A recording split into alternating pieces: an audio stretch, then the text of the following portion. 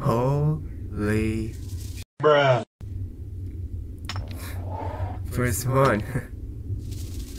well, I'm gonna be going to Grand Exchange to cash this in.